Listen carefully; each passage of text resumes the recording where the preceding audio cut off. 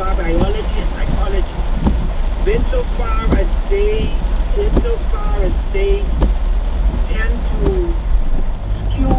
the particular function in a particular direction,